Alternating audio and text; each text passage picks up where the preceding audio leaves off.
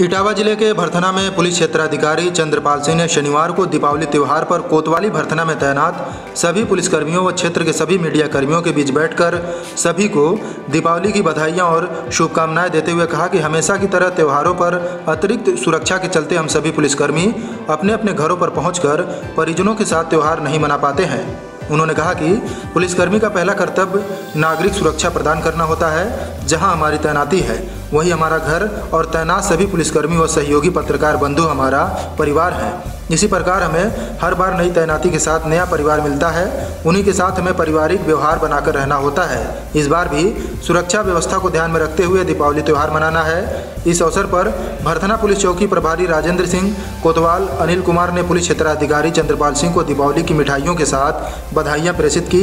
वहीं पुलिस क्षेत्राधिकारी श्री सिंह व कोतवाल, अनिल कुमार ने दीपावली की भरथना के सभी मीडिया कर्मियों को बधाइयाँ और शुभकामनाओं के साथ मिठाइयाँ भेंट की। इस मौके पर कोतवाल में तैनात सभी उप निरीक्षक व पुलिसकर्मियों की मौजूदगी उल्लेखनीय रही। मिश्रा जी ने भी और इसके पहले इंस्पेक्टर साहब ने भी, राजेंद्र साहब ने भी जो बात रखी है, देखिए बिल्कुल ये एक परिवार है। हम लोग सारे लोग जो है छुट्टी लेकर के सारे फ़ंक्शन को अटेंड नहीं कर पाते हैं। ये बेल्ट की नौकरी में एक समस्या है ये। लेकिन इस समस्या का जो निराकरण है, वो भी हमारे पास है। इसका हल भी हमें ही करना है। ये बिल्कुल क्या नाम है, सही बात है कि हम लोग सारे के सारे लोग एक साथ छुट्टी लेके अपने परिवार में कोई भी त्यौहार मनाने के लिए नहीं जा सकते हैं। क्योंकि हमें यहाँ आम जनता का भी त्यौहार ठीक से मनवाना है, इसलिए हमारी उपस्थिति यहाँ पे अनिवार्य है।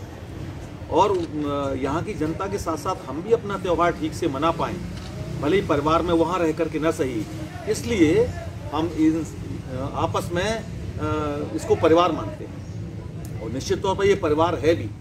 अगर हम इसको परिवार नहीं मानेंगे तो जो ओरिजिनल परिवार जिसको आप मानते हैं, माँ बाप, भाई बहन, पति क्या नाम, पत्नी, वहाँ तो हम पहुँच ही नहीं पा रहे हैं। तो ये तो बिल्कुल निश्चित है कि वो जो कमी है, उसको, उसकी भरपाई तो हम यहाँ पे नहीं कर सकते।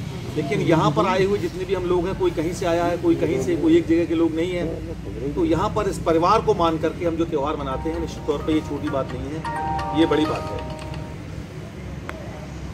जैसा कि इंस्पेक्टर साहब ने भी कहा भी था और मिश्रा जी ने भी कहा था इस बात हाँ। कि ये एक परिवार है और परिवार के तौर पर हमें इस त्यौहार को ठीक से मनाना चाहिए और हम लोग मना भी रहे हैं यहाँ पे। सारे? के सारे लोग छुट्टी लेके नहीं जा सकते हैं। मैं फिर बार बार उस बात को कहूँगा। और कुछ लोग चले भी गए होंगे। ऐसा नहीं है। कुछ लोग हो सकता है झूठ सच क्योंकि झूठ सच बोल के भी हो सकता है कुछ लोग चले गए हों त्यौहार मनाने के लिए। लेकिन सारे के सारे लोग नहीं जा सकते हैं।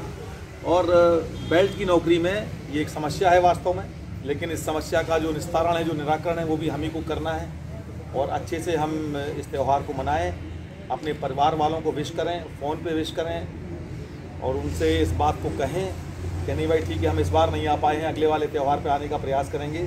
ब्यूरो रिपोर्ट, तेजस खबर।